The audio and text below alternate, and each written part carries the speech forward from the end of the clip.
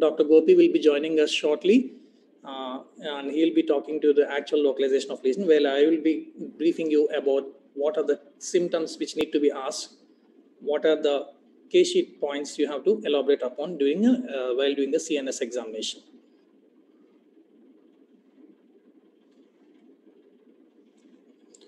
So I have noticed that uh, in clinics that many of you, while writing the case sheets, are not presenting properly and seeing CNS is one of the major cases which is being given as a major case to most of you in the clinical examinations. I thought it prudent to go to the brief uh, case sheet rating to brief you about the case sheet rating.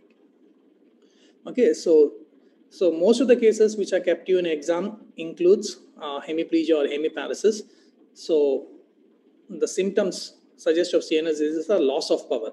So while describing about the loss of power in a particular set of muscles or in uh, a part of a body, you have to tell about the duration, whether it is sudden onset or acute, subacute in onset or chronic onset. Okay, so what is the duration? What is the onset? Which are the limbs affected? Is it the unilateral or bilateral or is it contralateral? Which muscle groups which are affected? Is it the proximal muscles or is it the distal muscles?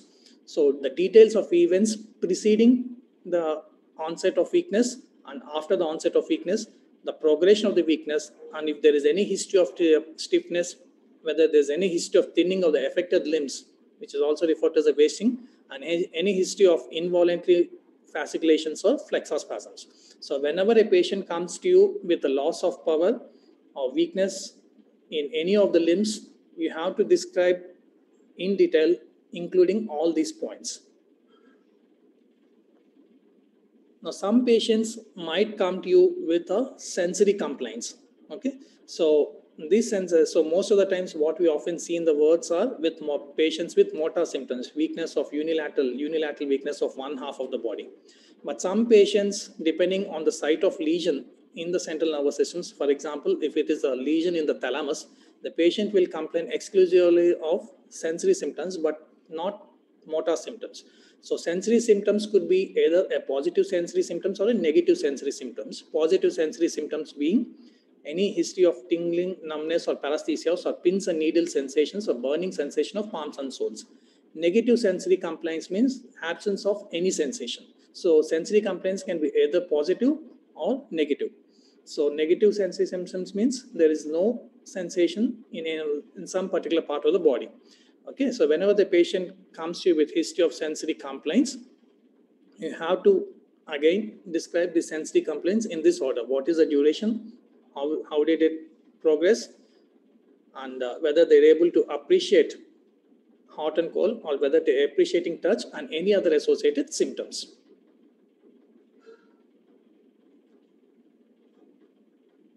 Other in uh, symptoms of CNS disease are involuntary movements whether it be a tremor, chorea, athetosis, or hemiballismus. Again, whenever the patient is complaining of involuntary movements, like suppose if you're dealing with a case of Parkinson's, you also again have to describe the tremor. So what is basically a tremor? Tremor is nothing but the involuntary rhythmic muscle contraction in one or more parts of the muscles leading to shaking of a body. Okay, so involuntary movements again need to be described in this particular order? What is the onset? Which parts of the body are involved? Like is it affecting only the limbs or is it affecting one part of the face? Okay what are the aggravating factors? What are the relieving factors? What are the associated symptoms? Aggravating factors being many any drug intake which are responsible for the extrapyramidal symptoms any history of toxin intake uh, like alcohol and how is it relieved? And what are the other associated symptoms with involuntary movements whether any history of fever whether fever preceding the onset of uh, tremors okay? And so the next symptoms we have is the, the bladder symptoms whether there's a retention of urine. And most of the times we uh, ask about hesitancy urgency precipitancy without actually knowing the meaning. So what exactly is meant by urgency? Urgency and precipitancy if they are present in a particular patient it indicates irritative bladder symptoms. Okay? So urgency is a strong sense to uh, to urinate a strong sense or urge to urinate is referred as an urgency, whereas precipitancy indicates the need to go to a bathroom to prevent leakage. Okay, so the precipitancy. So if there is a precipitant incontinence, that means the patient is unable to hold his bladder even before going to the bathroom. So hesitancy. Hesitancy is again a symptom of obstructive bowel uh, bladder symptom and not a uh, irritative bladder symptom. Hesitancy means in, difficulty in initiating a, a urine stream. And incontinence is nothing but a involuntary micturition without the patient knowing it. So we have autonomic micturition and autonomous uh, and uh, I will later tell you the difference. So after that, we have the bowel incontinence. Any history of cranial nerve dysfunction, like visual disturbances, like if the second optic nerve is involved, the patient will complain of visual disturbances. If the third, fourth, sixth cranial nerves are known and this patient is having uh, difficulty in controlling the extraocular movements, they will complain of diplopia. Lower cranial nerves can present with dysphagia, dysphonia, deviation of the angle of the mouth um, because of involvement of the seventh cranial nerve, etc. Okay, and any history of loss of consciousness. This is also very important. So but unfortunately the patient was brought to in an unconscious state. The history cannot be obtained from the patient per se but from the patient's family members or from the patient's close attenders who have been with the patient prior to the onset of loss of consciousness. Most of the times you will also be dealing with a history of seizures. Okay so but what history do you need to take when the patient presents with seizures? So again the duration of the seizures how frequent are the seizure episodes occurring, what was the patient doing at the time of onset, whether they are focal seizures that is limited to one particular uh, body part or whether they are generalized seizures, whether they are tonic-clonic type of seizures, whether there's history of tongue bite, whether there's history of rolling up, rolling of eyes, history of frothing from the mouth, history of urinary incontinence or bowel and bladder incontinence, history of any other injury which might have provoked the seizures, history of sensory disturbances like tingling, etc., and history of premonitory symptoms are also referred to as a prodromal symptoms like history of precipitating factors, alcohol, TB, menses, etc., and history of postictal uh, palsy or neurological deficits or postictal confusional state. All this indicates uh, the patient has suffered from a seizure, and whenever the patient has a seizure, you need to take all this history and mention in the case sheet.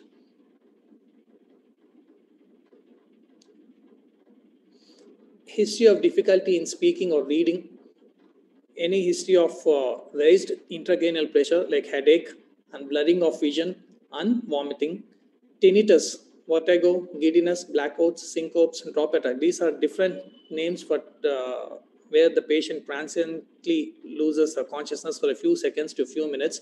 And if the patient gives such history, again you have to take what is the duration and how long was the patient unconscious, how frequent are these attacks, what are the associated symptoms prior to the onset of these symptoms and any other symptoms um, and any other uh, history like history of trauma history of fever history of discharge ear discharge history of bleeding tendencies history of exposure to environmental tox- toxins and history of re- recent vaccination. Now all these are important in a cns case sheet because uh, we have to find out what is the basic pathology which is responsible for the patient's symptoms how does recent uh, vaccination give rise to these symptoms? Sometimes vaccination can cause some demyelinating symptoms. So you might present, patient might present with an acute onset uh, quadriparesis or quadriparesis secondary to demyelination following a recent vaccination. Okay, so a patient might present with a GB syndrome. Now coming to the examination proper in central nervous system, the first category under which you examine the patient is a the higher mental functions. Sorry.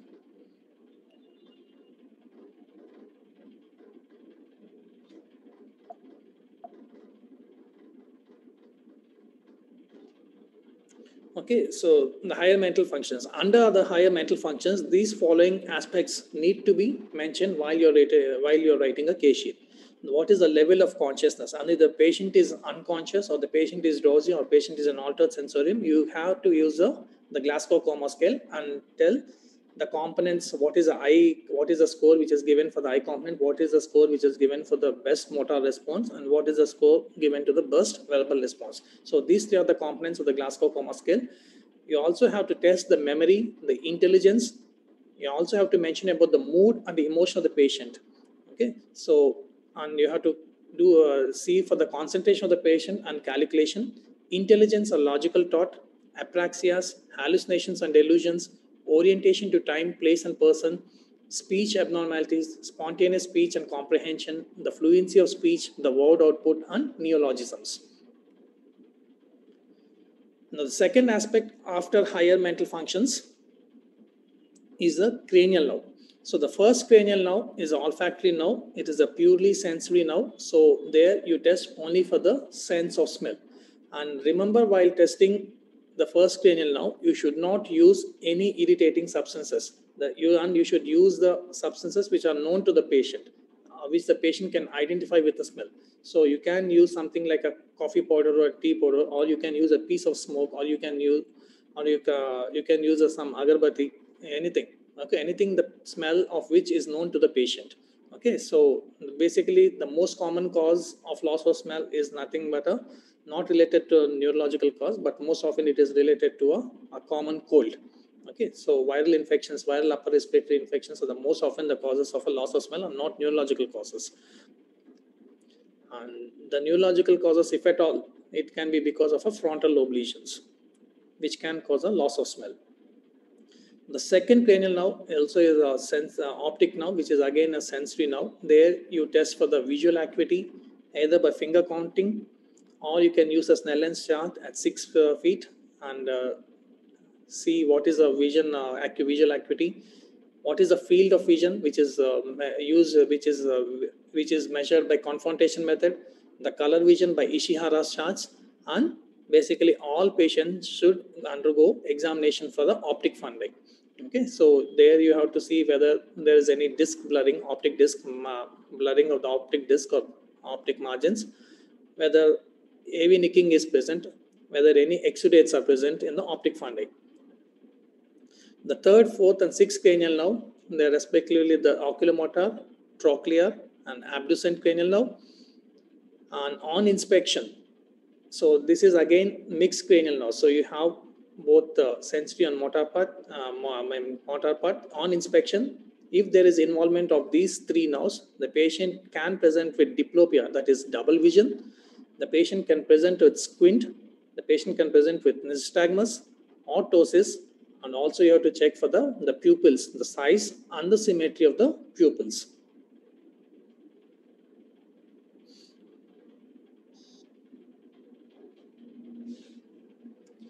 The examination proper per se of third, fourth, sixth nerves include checking for the conjugate ocular movements. So while checking for conjugate ocular movements, you must make sure that the patient looks straight ahead and you must place your hand on the top of the head to keep the head in fixed position. So when you, and, uh, you ask him to pass the patient to follow your finger.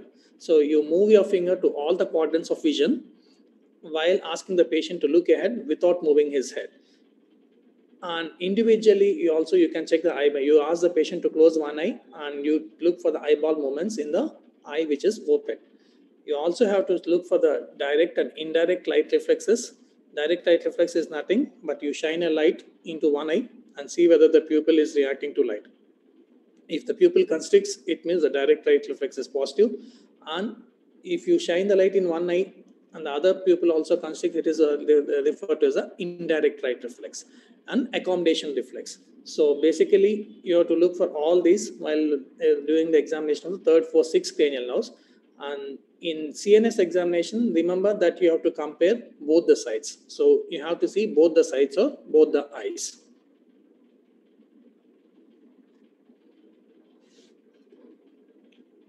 The fifth cranial nerve or the trigeminal nerve, it has both a motor component and a sensory component.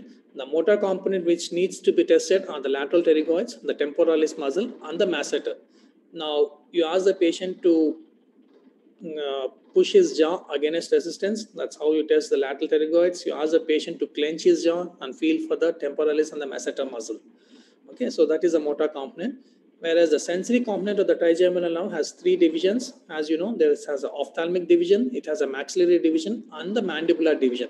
It all tests the sensations over the face and the reflexes which needs to be tested as a part of a fifth nerve examination include the corneal reflex and the conjunctival reflex.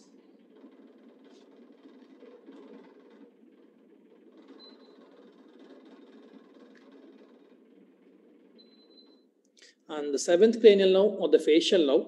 So on inspection of the seventh cranial nerve, you have to look for the wrinkling of the forehead, uh, whether, sorry,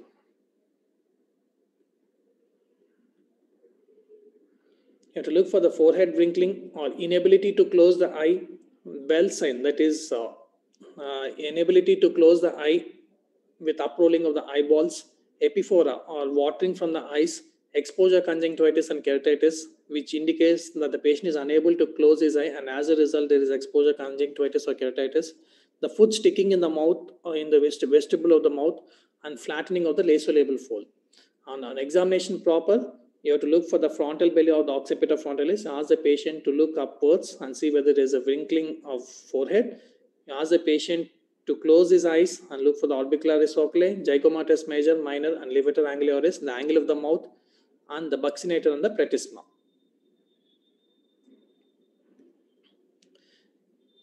The eighth cranial nerve, also referred to as a vestibulocochlear nerve. Here you have to look for the acuity of hearing. Uh, the watch test, you place a ticking watch close to the uh, ear of the patient and you compare the right side and the left side and see whether there is any decrease in hearing of loss. But that is a very crude method of testing.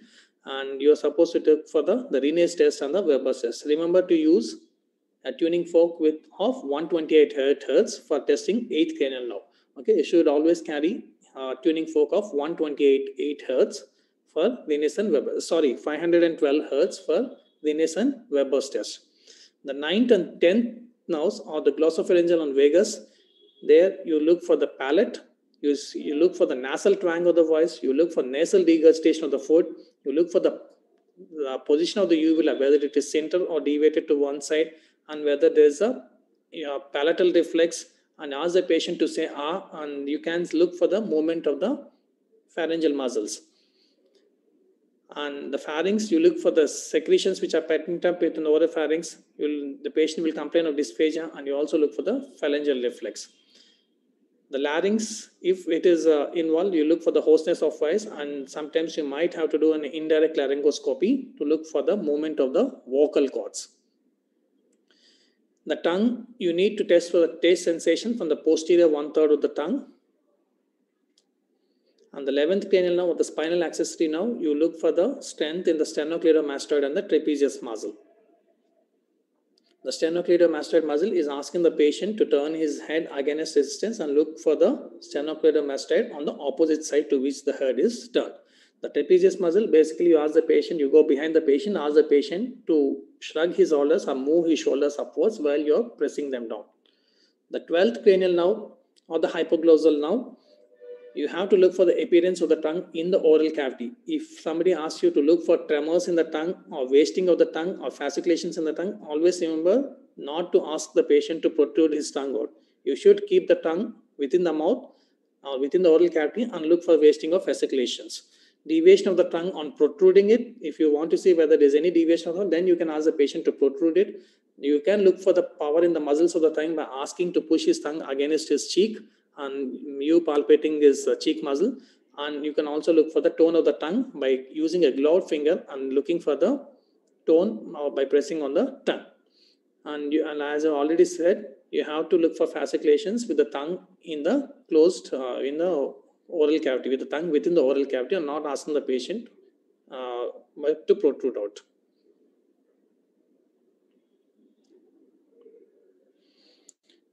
Now, coming to the system which is most important as far as your exams are concerned is the motor system because most of the cases which are kept for exam are for hemiplegia or hemiparesis and this is a component of CNS exam, CNS examination which is most important. So the motor system examination, you have to look for the nutrition and on what do you have to see in terms of nutrition? You have to look at the small muscles of the hand, you have to look for the forearm about the styloid process, you have to look at the upper arm, the leg and the thigh okay so you basically you want to see what is the bulk of the muscle to say whether this nutrition is good or whether the patient is malnourished. So basically you do not uh, see any wasting in a patient who is present with severe because the symptoms are very acute. And you look for the tone the spasticity or rigidity whether it is cogwheel or lead pipe. And again you have to look for both on right side and left side. And you look for the tone at the wrist you look for the tone at the elbow, at the knee, ankle, and any other tones like focal dystonias. Now, power, the grading, what we usually use as a medical research council grading, which has a six grades of power. So, power grading, again, it should be compared right and left. And you have to look for power at the shoulders by flexor, extensor, subductors, and adductors.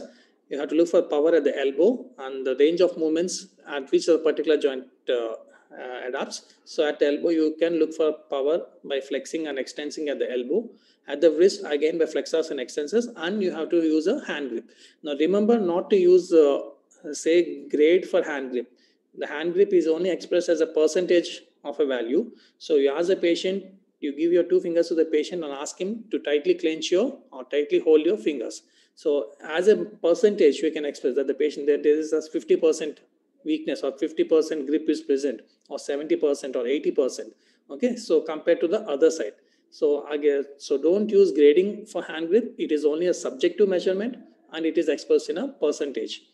And small muscles of hand you see whether there is any wasting of the muscle whether the palmar interossei are prominent. So if there is a palmar interossei very prominent it means there is a small muscle wasting of the hand and it might indicate that the patient might have a cervical myelopathy and you have to look for the power at the hips. So the range of movements which occurs at the hip are flexion, extension, abduction, and reduction, and similarly at the knee and ankle.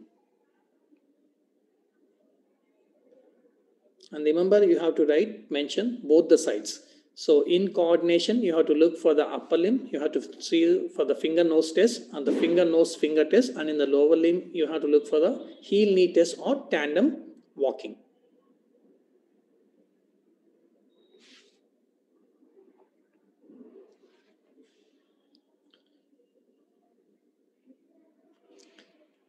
So the reflexes, again, you have a superficial reflexes and deep reflexes. The superficial reflexes include the plantar response, the anal reflexes, the bulbocavernous, the cremasteric, the abdominal reflex, the corneal, and the conjunctival.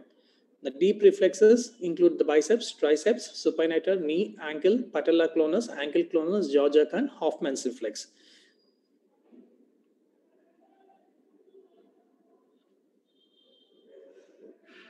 In the sensory system, you have to look for touch, pain, temperature, posterior column, and cortical sensations. In the touch, you look for crude touch and the pressure touch. The pain, you have look for superficial pain and deep pain. Temperature using a test tube filled with hot water or cold water. The posterior column sensations. Uh, so this is the one I was referring about, the vibration sense. Remember to carry two tuning forks. Use a 128 hertz for testing vibration sense and 512 hertz for vestibular, uh, I mean, eighth nerve testing. So use a 128 Hz to look for the vibration sense. You also have to see the muscle and joint sense, whether there's a fine touch and whether there's any Romberg sign. The Romberg sign, remember, it is a sign of a sensory ataxia. You ask the patient to stand with his feet close, closely uh, touched and ask him to look straight ahead. If the patient is able to do that, then you can ask the patient to close his eyes if is the patient's face on closing his eyes, it means that there's a sensory ataxia. That means the sensory input from his feet are not uh, properly carried to the brain. And as a result, the patient loses his uh, sense of position. So Romberg sign is a sign of a sensory ataxia. And cortical sensations, tactile localization, whether it is tactile localization or tactile discrimination, stereognosis. You give an object to the patient and ask him to identify by with his hands by keeping his eyes closed. And cerebellar extension or inattention and dermatography. You make some pictures or words or figures on the patient's skin and ask him to identify the words or figures which are drawn. So all this indicates either of these indicates that there is a loss of cortical sensations. Now cerebellar signs includes nystagmus. So how do you test for nystagmus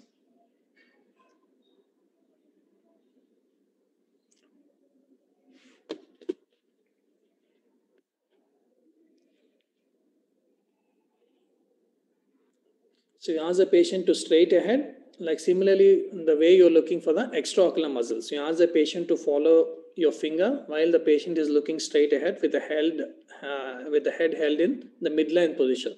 So if you are able to observe closely at the movements, there might, be a, a to and fro rhythmic movements. Okay, so that's how you observe for the nystagmus.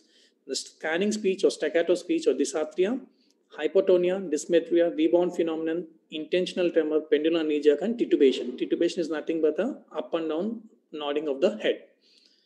And lastly, you have to look for the stance or gait or attitude, and you have to look for the skull and spine, and you have to look for signs of meningeal irritation. Okay, this is the basic K-sheet CNS format which you have to observe while writing or recording a CNS case.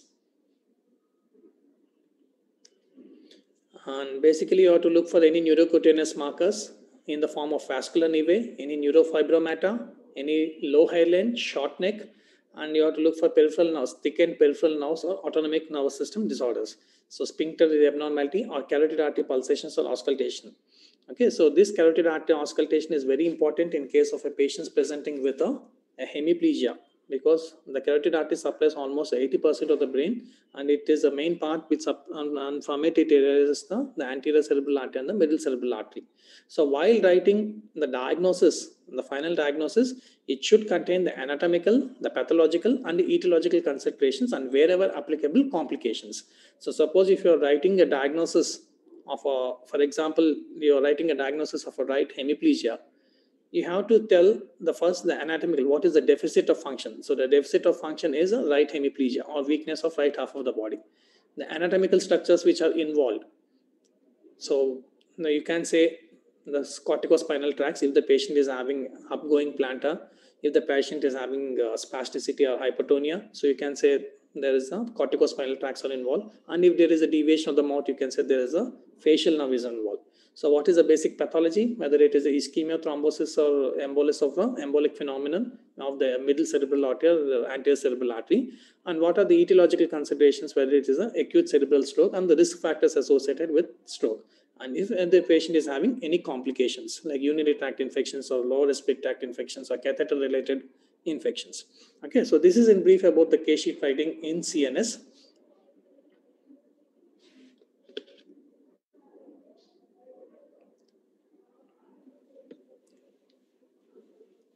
Uh, so basically, I will just skip briefly go through the introduction of the cerebral blood and Dr. Gopi will take over from here for localization okay. of CNS lesion.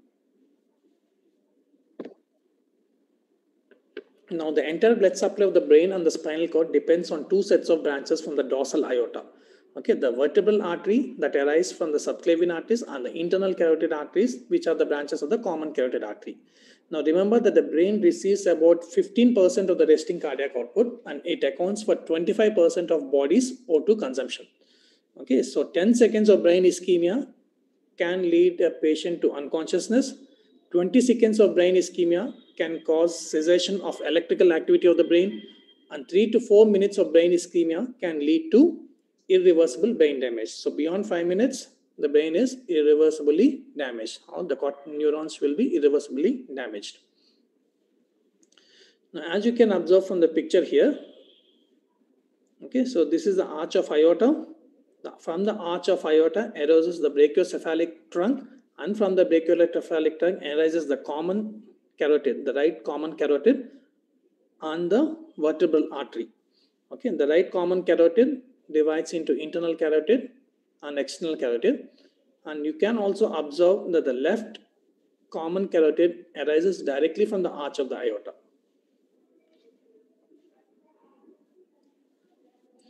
So the arterial blood supply to the brain, the internal carotid arteries supply about 80% of the blood to the brain, whereas the vertebral arteries supply the remaining 20%. The internal carotid arteries supply the anterior and the um, middle cerebral arteries, and the vertebral artery eh, constitutes the posterior circulation of the brain. The internal carotid arteries arises in, and uh, like I already said, the common carotid branches into two, the internal and external carotid. The external carotid artery supplies blood to the muscle, facial muscles, whereas the internal carotid artery supplies uh, the brain through the uh, anterior cerebral artery and the middle cerebral artery. So the internal carotid artery branch to form two major cerebral arteries, the anterior and middle cerebral arteries. And uh, it also gives rise to the anterior choroidal artery and the posterior communicating artery. So these are the various branches of the internal carotid artery. The anterior middle anterior cerebral artery, the middle cerebral artery, the anterior choroidal artery, and the posterior communicating artery. So this is nothing but a diagrammatic representation of the branches of the internal carotid artery. Now the ophthalmic artery, it passes into the orbit to the optic foramen. It supplies the structures of the orbit, the frontal part of the scalp, and the dorsum of the nose. Whereas the anterior choroidal artery supplies the optic tract, the choroid plexus of the lateral ventricle, the hippocampus, and some of the deep structures of the hemisphere, including the internal capsule. The posterior communicating artery, it passes posteriorly inferior to the optic tract and joins the posterior cerebral artery with the middle cerebral artery. Okay, so here is a diagrammatic pictorial representation that the blue part of the, this is the medial, this is the lateral aspect of the brain. You can see the blue parts which are shaded are supplied with anterior cerebral artery. The pink part is supplied middle cerebral artery. The occipital lobe, which is represented by the green part, is supplied with the posterior cerebral artery. The second part of the below portion of the picture shows the, the medial aspect of the brain and the same arteries which are supplying in the same colors.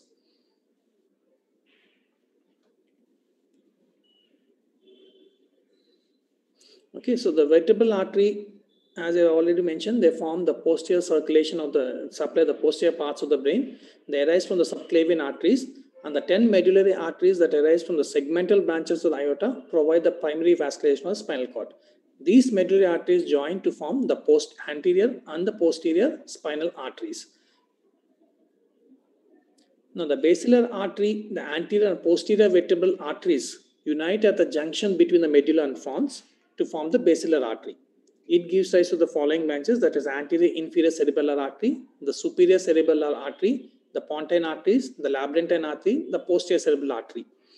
So, in effect, what you have to remember is that, that the brainstem, cerebellum, and occipital lobe are all supplied by the vertebrobasilar system. So, this is a circle of Willis. Here you can see the circle of Willis. This is available in any, any standard textbook, and you can go through that once.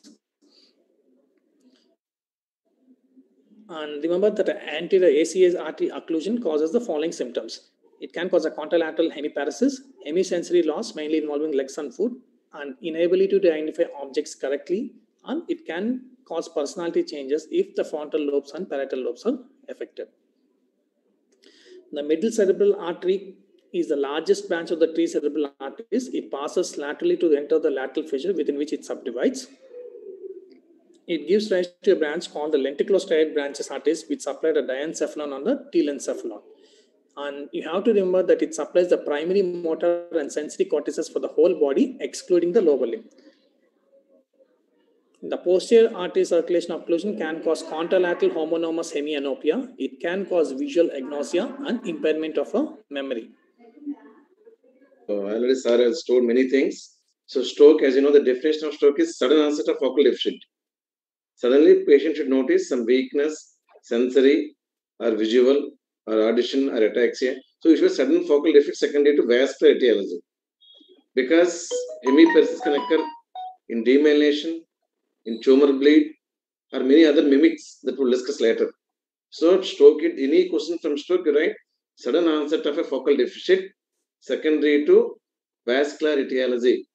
80 to 85% are ischemic stroke, 10, 15 to 20 percent are hemorrhagic stroke. There are, you know. So first is, is it a stroke? If it is a stroke, what part of the stroke is affected? First, you may be wondering, is it a stroke means you are discussing about stroke. Is it a stroke means yes. So most of the times, when you come across any hemiplegia, think first it may not be hemiplegia. It may be a stroke mimic. So if it's a stroke mimic, the entire scenario will change. As a neurologist, we see sometimes 5 to 10% what we think stroke, when you take scan and all, it's a different thing. So is it a stroke? It may not be a stroke. Most probably it may be a stroke. So what things, what are the stroke mimics? Somebody come with hemiparesis. What do you think? You have to rule out stroke mimics, especially in this era. Now we are giving a lot of thrombolytic therapies.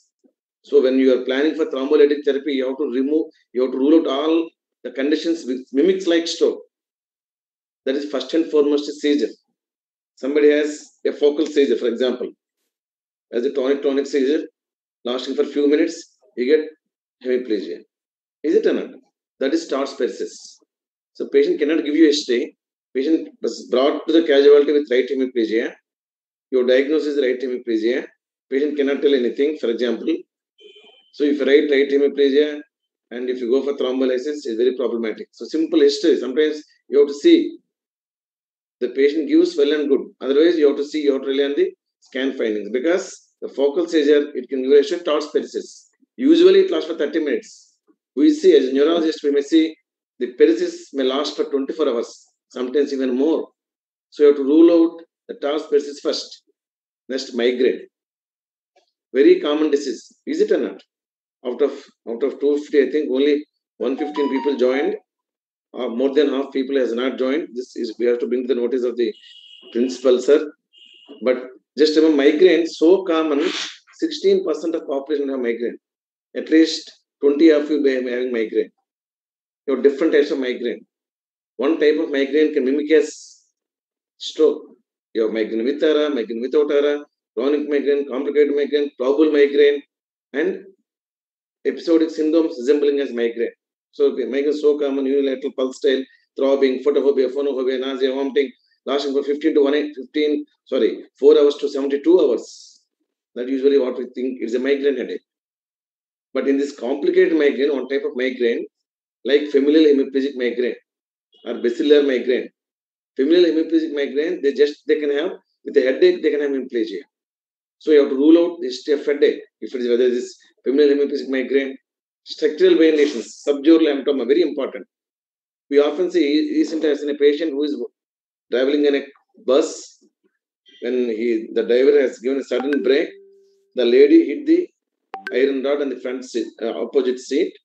She was normal, very trivial trauma. After 15 days, she has headache. After 25 days, she has hemiparesis. So that is subdural hematoma due to rupture of bridging veins.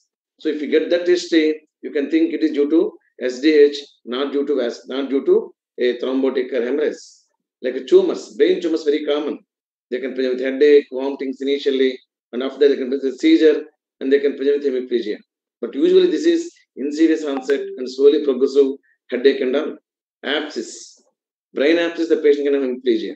But here you get the classical triad of abscess.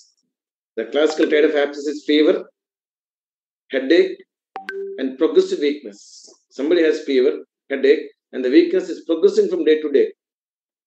That is abscess. And simple hypoglycemia, metabolic disorders, hypoglycemia. So this is very auspicious month, Kartika Masam. Suppose you are in fasting, like Kartika Swamaram or Kartika Ekadasi, Paurnami, you're not taking any breakfast, and you're standing for a long time. Simple hypoglycemia can mimic as hemiparesis, both hypo and hyperglycemia. The blood sugar will give the diagnosis. And demyelination, of course, we see very frequently any young female and 30, 40 years or 25 years presenting with hemiparesis, always suspect as embolic stroke or a demyelination. Often we see plaques in the brain responsible for the stroke. So entire treatment differs where you have to give IV methylprednisolone as the acute treatment of this demyelination. So one should not miss the stroke mimics. Vestibular disorders. Vestibular disorders are quite common. We see benign paroxysmal positional vertigo, BPPV. The vertigo lasts for a few seconds. You get severe vertigo, nausea, vomiting. It looks like a posterior circulation stroke. Yeah, you've seen Vikram sir is telling all the circulation, 20 percent in the blood circulation of posterior circulation, where the symptoms are all these that is dysphagia, dysarthria, diplopia, drop attacks, and double hemiparesis. There is severe uh, vertigo, which may be mistaken for a stroke. You ask carefully, if you ask the history, there is benign paroxysmal positional vertigo or phobic paroxysmal positional vertigo, PPPV or BPPV, and psychological disorders. People who come across people having with different in, intention in the mind, they want a certificate that they have hemiplegia for the transfer purpose. So we should be very careful in these. So, so suppose you say, no, no, no, we get lot of Southern certificates. When they come to us to OP, they will like this. So we examine reflex normal, plantar flexor, no reports, nothing. Scan is, for example, scan normal or no scans. We suspect this is a functional case to get uh, that uh, pension. They want certificate of right hemiplegia. They be acting like this. When we say no, everything is normal, we cannot give you. Please admit. Simply they go away. They walk normally. So psychological disorder, you know, you have some tests to distinguish psychogenic hemiplegia versus organic like Hoover sign. So if it is a stroke, if you ruled out all the mimics, mimics of stroke, starting from the seizures, migraine, structural disease, demyelination, metabolic, trauma. So if it is a stroke, what part of the brain is affected? That's very important for you in your examination. Localization of the stroke. Which part of the brain is affected? Is it cortex? Is it subcortex, the radiata? Is it internal capsule? Is it in the brainstem, the midbrain, pons, medulla? Where is the lesion? That is the localization. So at the end of this class, I'm, I'm sure you will get knowledge how to localize a stroke. So why, why should we bother to localize? Somebody may ask, why should we bother? The first and foremost, here you can see in the fourth point, it indication of prognosis. Suppose it is spontaneous hemorrhage. Somebody has fever, somebody has pinpoint pupil, somebody has bilateral signs. So all three P's, pyrexia, pinpoint pupil reacting to light, bilateral paralysis, that is pontine hemorrhage. Your clinical diagnosis is spontaneous hemorrhage that carries poor prognosis. Suppose somebody is having mild hemiparesis, mild human facial palsy, everything is normal, they carry better prognosis. Suppose somebody has a cerebellar bleed, as characterized by the cerebellar bleed, the triad of cerebellar bleed is peripheral facial palsy, ataxia, and horizontal gaze palsy. Somebody has these three clinical findings. Your diagnosis is cerebellar bleed, again carries poor prognosis. So, once you have a localization to cerebellum, pons, internal capsule, you can tell them the prognosis. This is number one. Next, you can see the three that gives an indication of cause. So, I will tell you a case scenario of 18 year old woman presented with monoparesis. Your diagnosis is monoparesis means cortex. You are suspecting 80 year old woman, non hypertensive, non diabetic with monoparesis. If your localization is monoparesis, in 80 year old woman or man who is non-diabetic, non-hypertensive, the cause is most often, most common cause for uh, lobar bleed, for which cause monoparesis is CAA. That is a cause for the stroke. Cerebral amyloid angiopathy. There is a need bit. Most common cause of lobar bleed in elderly individual. Because A, B, C, D, hypertension, diabetic, CAA, or metastasis. The uh, answer is cerebral amyloid angiopathy. Somebody is you his patient is 60 year old man severe paresthesia on one side bp is 180 by 120 the diagnosis is thalamic stroke. So it gives the cause indication of cause. So this hypertension is the cause for the stroke. Like that cerebral amyloid angiopathy is the cause for stroke. So when you localize correctly you will get what the etiology for the stroke next allows better selection of imaging why should you bother if you examine for 10 15 minutes, oh, you have diagnosed a posterior circulation stroke. You have seen the posterior circulation. So, where patient came with uh, all these dysphagia, dysarthria, drop attacks, dizziness, double hemiparesis, where you have to select the MRI brain. Like some, some another case scenario, like 50, 30 year old woman who recently married, presented with a seizure and hemiparesis, who is on OC pills. There you have to take MR venogram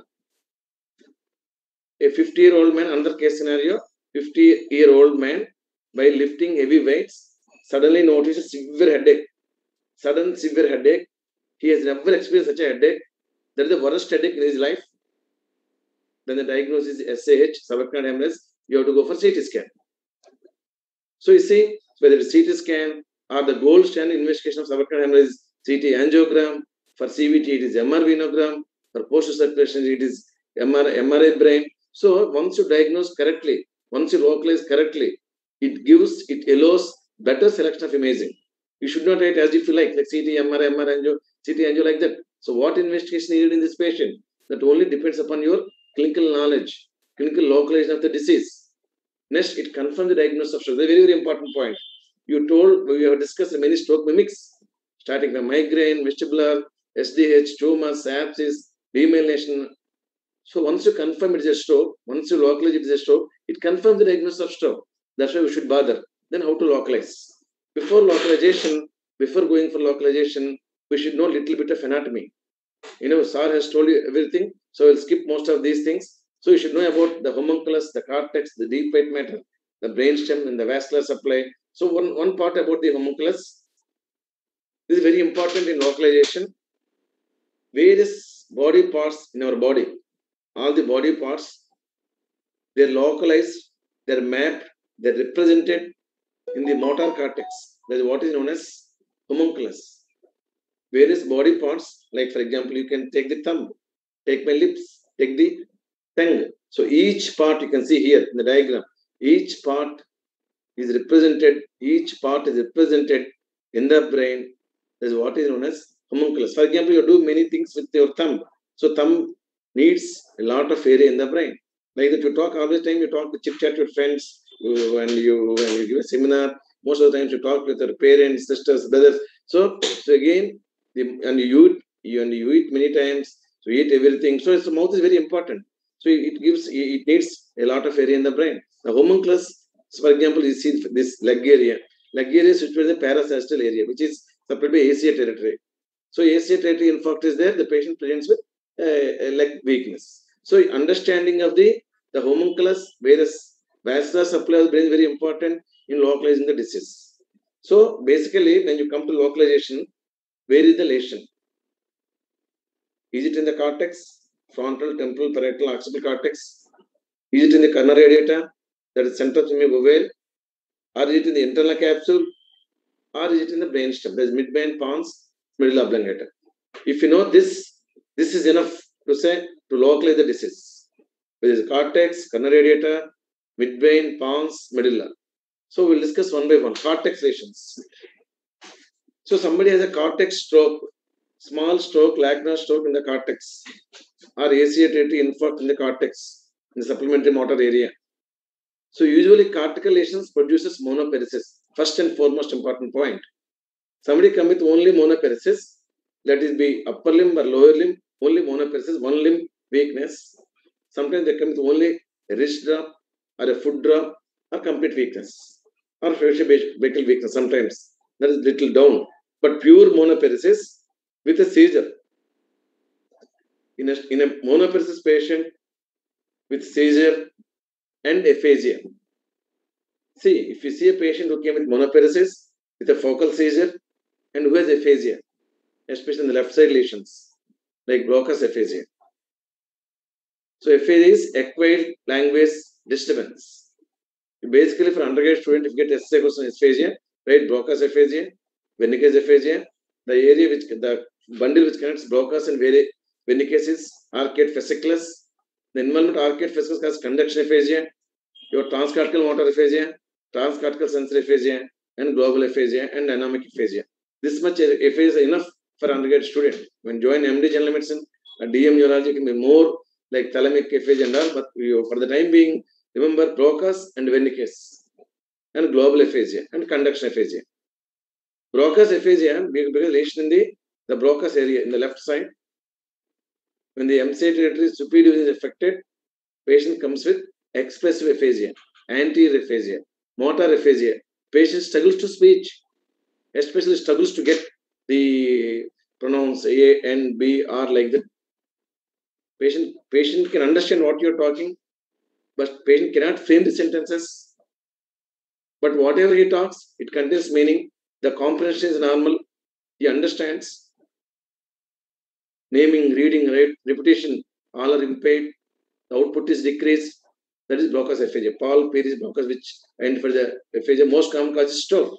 It can occur following surgery or tumors or degenerative disease, but most common being most common cause for aphasia being Broca's aphasia being stroke.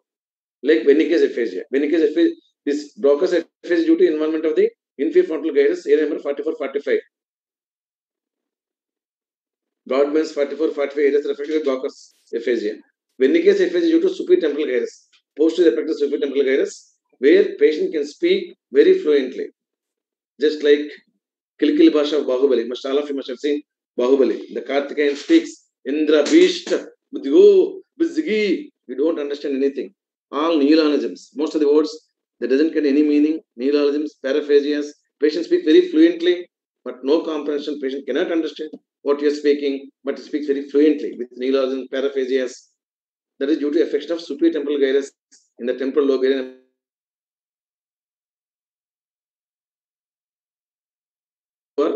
the arcuate fasciculus, which causes conduction aphasia. If everything is affected, the Broca's Wernicke's, there's global aphasia. the difference between Broca's and transcortical motor, motor and transcortical motor. In transcortical motor, the respiration is preserved. Transcortical sensory looks like Wernicke's aphasia, the respiration is preserved. So they can come with an acquired language dysfunction in cortical lesions because the centers are present in the frontal lobe, temporal lobe. So basically, they come with speech disturbance. Suspect a lobe, a cortical lesion. Apraxia. Next is apraxia. Apraxia for undergraduate student, very bit, very few points. Not able to carry a learned act. You know how to drink coconut water through a straw, for example. Your power is normal, your vision is normal, your cerebellum is normal, sensory is normal, but you cannot do the act. You know how to salute, how to just somebody asks how to hit a six. You will just show how to hit six. Your power is normal, cerebellum normal, sensory normal, but you cannot show the examiner how you hit a six. Not able to carry a learned act, perform a learned act in the presence of normal sensory motor cerebellar functions, the apraxia. Somebody is apraxic, suspect cortical strokes. Agnosia. For example, you have different types of agnosia. You have stereognosia, barognosia. So not able to identify, suppose somebody asks the patient to close the eyes and keep the cell phone in your hand. Patient says this is cell phone or keep the pen in the hand. Patient says this is a pen. So patient cannot say that's agnosia. For different types of agnosia. So, and cortical sensory loss like tactile localization, tactile discrimination. Suppose keep a pin here, ask the patient to localized. Tactile localization, tactile discrimination, two-point discrimination, and sensory inattention. First examine one side, examine similar the opposite side, examine both sides simultaneously. First, when you examine individually, this is normal, this is normal. When you examine with two pins simultaneously, patient will neglect one side if sensory neglect is there. A sensory inattention is there. A sensory extinction is there. Both are synonyms. This is cortical sensory loss. That is tactile localization, tactile discrimination, and sensory inattention. So if you find these SAGEs, monoparesis, aphasia, apraxia, agnosia, cortical sensory loss, the lesion, the localization is to cortex. Okay. Next coming to deep white matter, the subcortical white matter. Subcortical white matter, that you have the corona radiata. Here you can see the corona radiata here. So this is the cortex. Even large lesion may produce only subtle weakness, just like a wrist Because the whole thing is widely placed here. Same thing, suppose here lesion is in the corona radiata. You get the weakness more denser than cortical, that's all. Still, it could be monoparesis or other limb may be slightly affected. But if the same thing you see in the internal capsule, internal capsule, all the fibers are densely packed. Here they are wide, they are divergent here. You see, you have big lesion here, only produce only this drop, foot drop like that.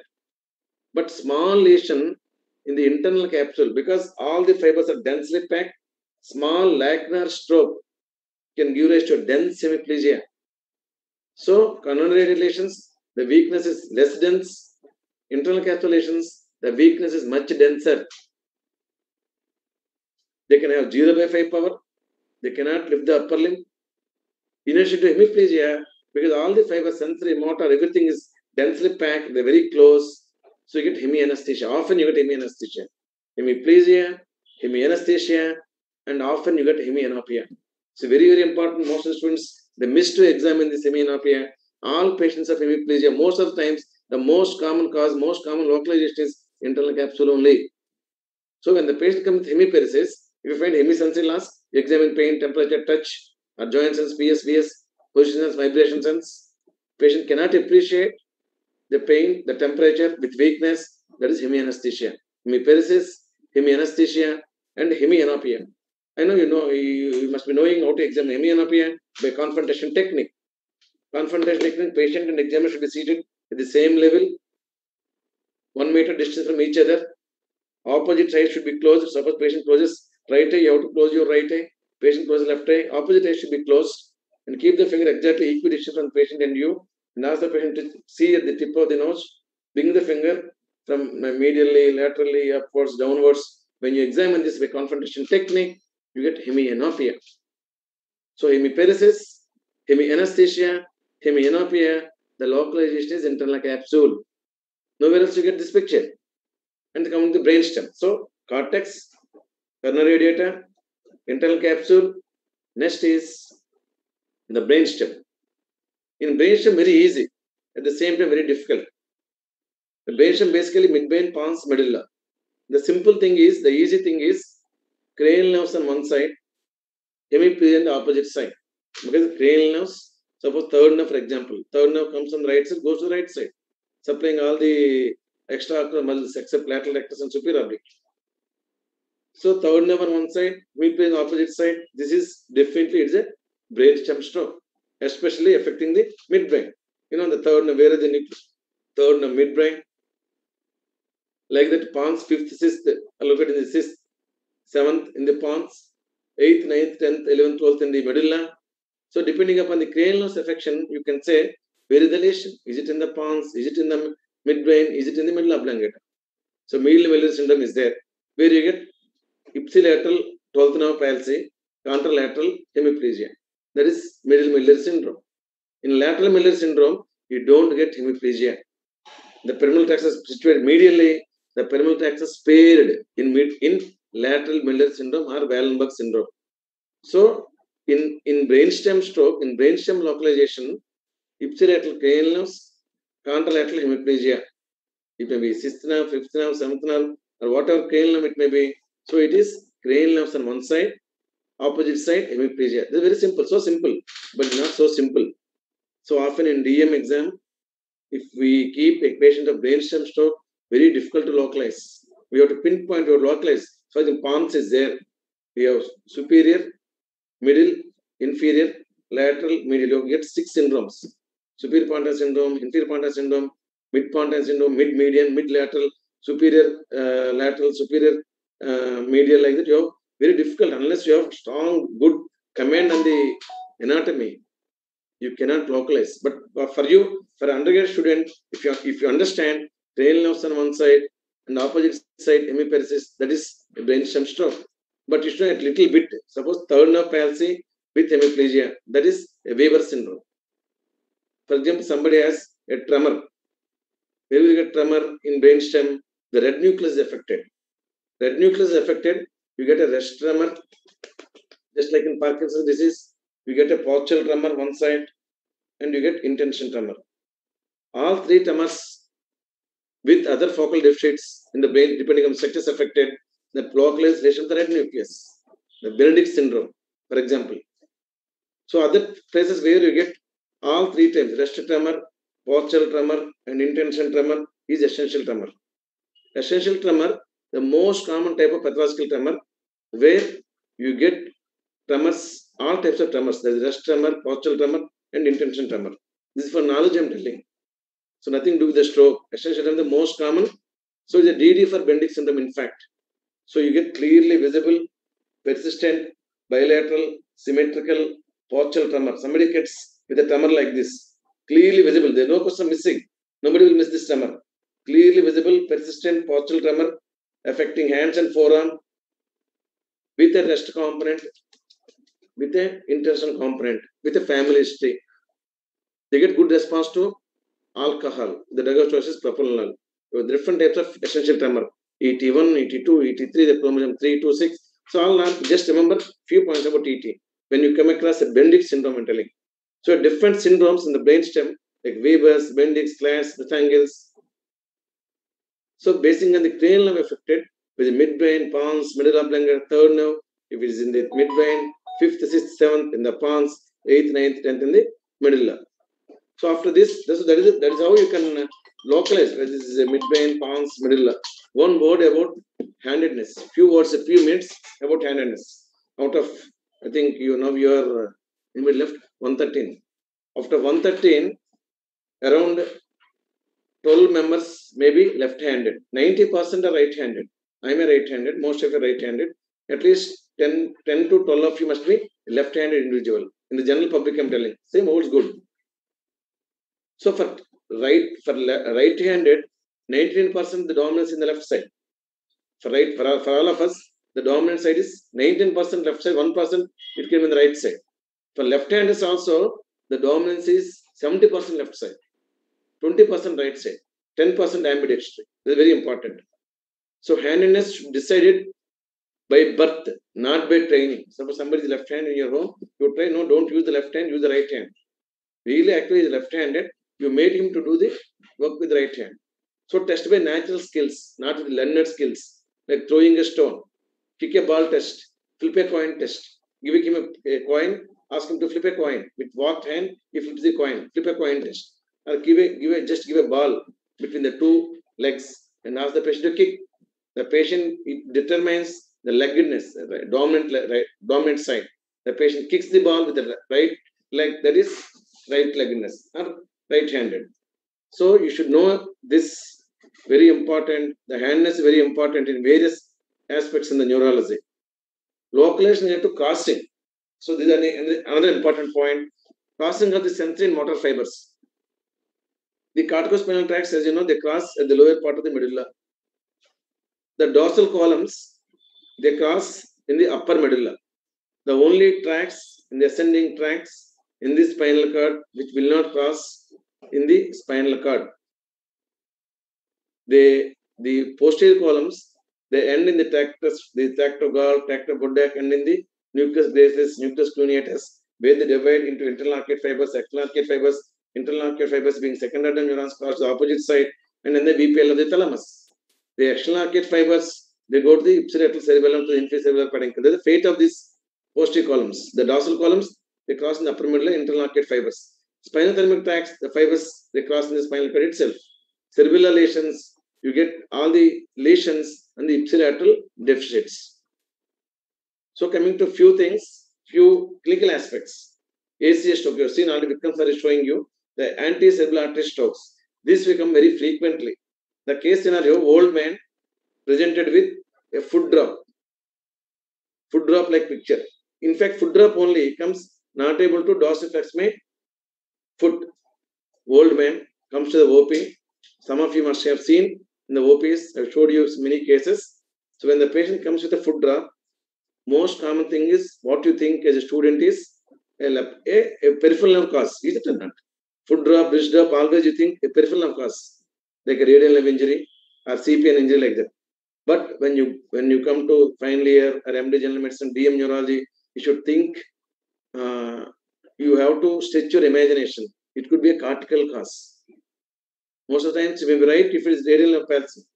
But you have certain things you know how to examine, how to approach a wrist drop, foot drop, then you get more knowledge. Oh, wrist drop, foot drop. It could be a cortical cause, especially old man, hypertensive, diabetic, hyperlipidemia, obesity, not walking.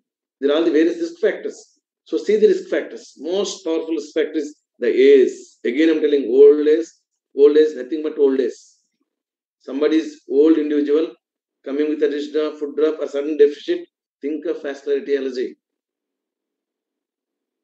See to control the various risk factors. Some of your family members may be having some transient ischemic attacks. Before they get the ACS stroke, they give mild weakness of the foot lasting for a few minutes. Then you have to immediately have to pay attention. The very practical points will come across day in and day out. Your grandfathers, grandmothers, they are more than 60, they're diabetic, hypertensive. If they tell you, MS, transient slurring of speech, transient visual obscurations, transient ataxia, transient weakness, don't take it as lightly.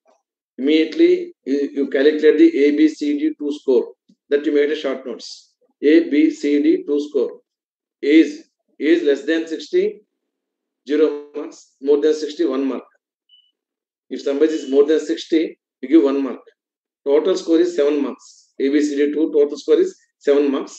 A is less than 60, 0, more than 61. Blood pressure, more than 140 by 90, give 1 mark. You record the blood pressure, more than 140 by 90, give 1 mark. The clinical features. In clinical features, you get weakness, give 2 marks. Speech disturbance without weakness, give 1 mark. Duration of the weakness. Duration of weakness less than 10 minutes, give 1 mark. Up to 1 hour, give 2 marks. 10 to 15, 1 mark. More than 15, more than 1 hour, give 2 marks. Then diabetes is there, give 1 mark. So 2 to 1, 1, 1 each. Diabetes, blood pressure and age. Clinical features and duration 2 to each, 2 or 1. So maximum score is 7. The importance of knowing this ABD, ABCD2 score is somebody has a score of 7. So there is a chances of getting the stroke in the next 2 hours is 8%. Just imagine somebody comes with a transient focal deficits. You have to calculate the ABCD2 score. So some somebody has a we are, we are talking about ACS stroke. They come with weakness, especially leg weakness. ACA causes leg weakness. You can see this infarct here, the ACA territory. Corresponding to this ACA territory, they come with a leg weakness, especially sometimes only foot drop. Then you see the ankle jerk. If the ankle jerk is brisk, if the plantar is extensor, see the plantar reflex, see the ankle jerk. And one more very important point, in a peripheral uh, foot drop, you get dorsiflexion weakness. In a cortical foot drop, you get weakness of dorsiflexion and plantar flexion. That's a very important point you have to understand. Like the same holds good for wrist drop. Somebody has a wrist drop, which is weakness of the dorsiflexion, dorsiflexion of the wrist and palmar flexion of the wrist, with supinator jerk being brisk, with some cortical sensory loss that goes in favor of a cortical stroke. So ACS strokes are very common. Once somebody has a foot drop-like presentation or monoparesis, the reflex are the plantar ejections are with the risk factors like hypertension, diabetes, obesity, who is not going for a morning walk. Morning walk is very, very important. You are depositing 10,000 rupees per day if you are going for a morning walk. Remember, those who are not going for a morning walk, please go for a morning walk. Need not be diabetic. You need not be hypertensive. So you can prevent a stroke. Prevention is more important nowadays. Each minute counts in stroke.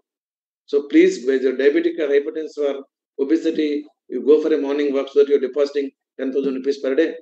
So with these risk factors, somebody has this type of picture that is ACA stroke with species which is very well preserved. They only come with a weakness in the leg, MCA stroke. You can see the MCA, massive MCA stroke, where you have that all the features, hemiparesis, hemianesthesia, and hemianopia. You can see this in this picture. Same, contralateral hemiplegia, hemianopia, and apraxia, sensory inattention in non-dominant hemisphere. In dominant, all three very important, and aphasia. In dominant, you get aphasia. Non-dominant, you get apraxia. PCA strokes. After AC, MC, you have PCA strokes. PCA strokes, often you get minor motor involvement, very minimal motor involvement. Our motor system can completely escape, no motor involvement, or mild hemiparesis. But important is significant involvement of sensory, especially the light touch, pinprick, they're significantly affected. And often they get hemianopia. Most of the time in clinical practice, what we see in PCA strokes, they get only hemianopia. While walking, they bump into objects. They hit one-side objects. So you can see classic PCA stroke. You have seen MCA stroke. You have seen ACA stroke. ACA stroke will be like this. You can see this. The cursor you can see. You can see the MCA stroke. You can see the PCA stroke. You can see the PCA stroke. Okay. So blood supply and all. So one point about this uh, vertebral basilar system. Vertebral basilar system strokes often they're characterized by all these: the dizziness, diplopia, dysphagia, dysarthria, and drop attacks.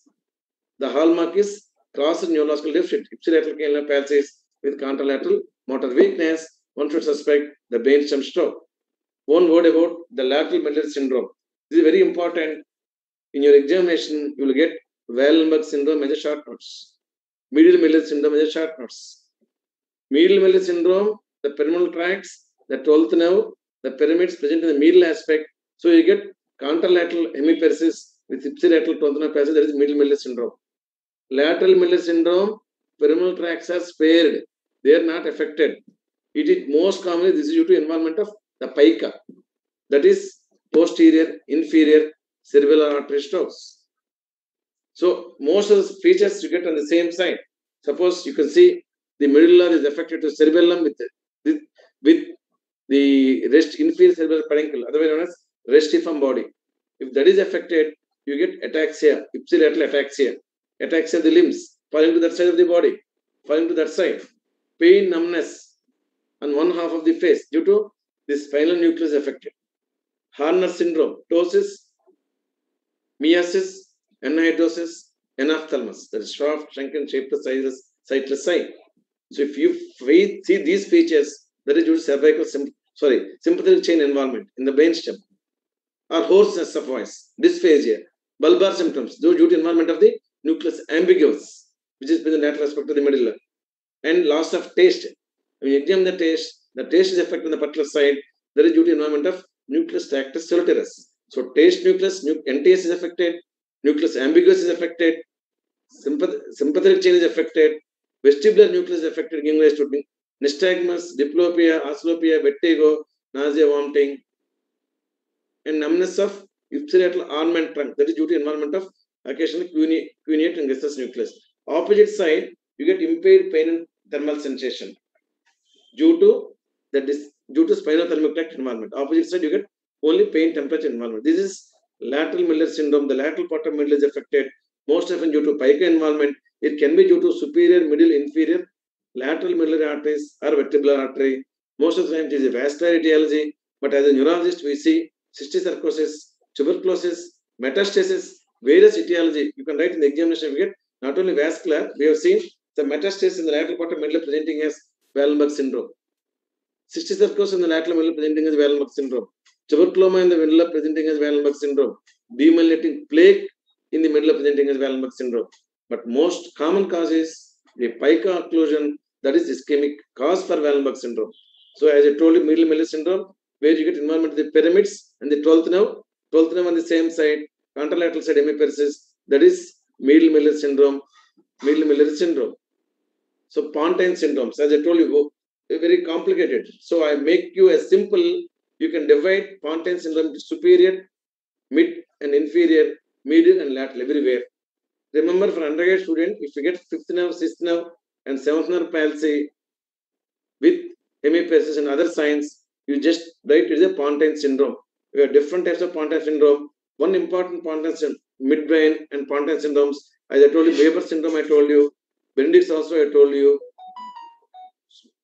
And in Pontine syndrome, we have Raymond Foville syndrome, Millard Gubler syndrome. Sixth and seventh are affected. Raymond Foville, Millard Gubler in Pons, Weber's, Benedict's, Claude's, Nothnagel's in case of midbrain. So one word about small strokes or lacunar strokes. These strokes are very common. You can see they get a small stroke due to lipohyalinotic occlusion of the artery, deep penetrating arteries and arterioles. You can see this hypodensity, less than 15 millimeters in diameter. When there is lipohyalinosis of the small, deep penetrating arteries and arterioles, giving rise to five syndromes, lacunar strokes, pure motor hemiparesis, they only come with pure weakness of one half of the body, pure sensory stroke, they come with paresthesia, severe paresthesia on one half, the pure sensory, pure sensory stroke, you often utilize in the VPL, ventropostal actinic the thalamus, sensory motor stroke, ataxic hemiparesis, and clumsy hand dysarthria syndrome. They get clumsy of the hand, dysarthria, clumsy hand dysarthria syndrome. These are five important lacunar strokes you have.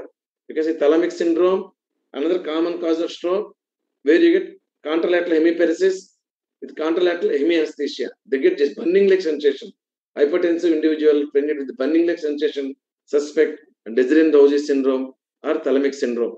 You can see putamen very common when you see somebody come with hemiplegia, sudden onset, non-progressive. Usually in ischemic strokes, you get stepwise progression. The very important point to note. In ischemic strokes, patient says 7 o'clock I'm normal, 7.15 I had weakness of the upper limb, 7.30 I have weakness of the lower limb, 7.35 deviation of the mouth, 7.45 slurring of the speech. That's stepwise progression, very classic of ischemic stroke. In hemorrhagic stroke, you don't get the stepwise progression. So in localization, very important, ischemic stroke, hemorrhagic stroke, which part is affected, uh, history and exams are very, very important. In hemorrhagic stroke, all of a sudden they get the weakness, especially the putamen like this, when you see your localization is right hemiplegia, sudden onset, BP is 200 by 120, the cause is hypertension, the location is the basal ganglia, especially the putamen. So lobar bleed, as I told you, in elderly individual, most common cause for lobar bleed is CAA, cerebral amyloid angiopathy. You can see Pontine hemorrhage, somebody get pyrexia, that's fever, pinpoint pupil reacting to light, need bit, pinpoint pupil reacting to light, pyrexia, pinpoint pupil reacting to light, and paresis. That is Pontine hemorrhage. You can see in the Pontine location, and hemorrhage. So the patient is very dangerous condition, poor prognosis. Most of the time you can't do anything. even you can't submit for surgery, you can tell the prognosis at least. Cerebellar hemorrhage. This, this type of presentation we see very frequently. In hypertensive individual presenting with sudden headache and ataxia, the class slide of cerebellar hemorrhage is horizontal gaze palsy, ataxia, and peripheral facial palsy. This is a triad of cerebellar hemorrhage. More than 30 cc immediately have to submit for surgery. So basing on the SAR has told all the signs, all cerebellar signs. So in localization of cerebellar signs, suppose patient had only one side signs, like appendicular signs like finger nose, finger nose test is impaired, or knee heel test is impaired, or dysdiadochokinesia, they never to perform rapid alternate movements. This is impaired one side, we suspect that side pathology, localization that side pathology. So patient had a stroke, for example, uh, cerebellar sky, sky infarct, superior cerebral artery infarct. You get signs on the right side, you get right side cerebellar signs, like right side nystagmus, right side finger nose test, right side finger nose finger test, right finger finger test, and uh, you get rebound phenomenon positive on the right side, or you get dysdiadochokinesia on the right side, knee heel test. Suppose the lesion is affecting the vermis, the two cerebellar hemispheres connected with vermis. No, the middle section is vermis. Vermis is affected, you get all different clinical presentation. They cannot stand like this. When they stand, they will be ataxic. While sitting, they will be ataxic. That is, that is your stance ataxia. This is truncal ataxia while sitting. While standing is stance ataxia. While walking is gait ataxia. You got stance ataxia, gait ataxia, truncal ataxia. So if, these, if you find these with the titubation, so titubation, gait ataxia, stance ataxia, truncal ataxia, the localization is vermis. Suppose patient had some appendicular features like finger nose, finger finger, or finger finger, finger nose finger, dysdiadokinesia, all these, the localization is one cerebral hemisphere, cerebellar hemisphere, the zipsirat. So you have to note all the cerebellar signs. Start from titubation, there's two and fro movement of the head, your nystagmus, your scanning speech. Patient asks the patient is a Chakravartila Rajagopalachari. Is standard sentence or British constitution. Patient is British constitution. The patient is unused just second words. Say Brahmaputra Nadi. Brahmaputra Nadi. Chakravartila Rajagopal Chakra. So basing on those, with the patient has scanning speech, staccato speech, all finger nose, finger finger, rebound phenomenon, Bernice pointing test, and decompression movement, gait ataxia, stance ataxia, truncal ataxia, knee heel test, compass gaze, tandem gait, you can be able to localize whether it's pancerebellar, ipsilateral cerebellar, or vermian lesion. So subarachnoid hemorrhage. Localization very, very easy. Most of the times, the very important symptom of subarachnoid hemorrhage is we have taken theory class for you. There is sudden severe headache, the worst headache in my life. I have never experienced such a headache. That localized to subarachnoid hemorrhage with the bleeding between the pia and subarachnoid arachnoid mater, where you find very dangerous condition. 50% people don't survive. So once the diagnosis of subarachnoid hemorrhage is made, you have to tell the prognosis very clearly. And you have to go for CT angio and you have to do for either clipping or coiling. To summarize the localization, the cortex lesions, cortical deficits, speech involvement aphasia, agnosia, apraxia, seizures, and monoparesis. Subcortical lesion, denser lesion, you get hemiplegia, but in internal capsule, dense hemiplegia, sparing of speech, absence of seizures. Thalamic, as I told you, hemianesthesia and hemisensory loss. The brainstem, you get clustered hemiplegia. Cerebellum, whether it is cerebellar hemisphere or vermis, basing on those signs which were discussed, you can localize to cerebellar hemispheres. So this is the way to how to localize in a in a patient of stroke. Thank you very much for giving the opportunity. I wish you all the best.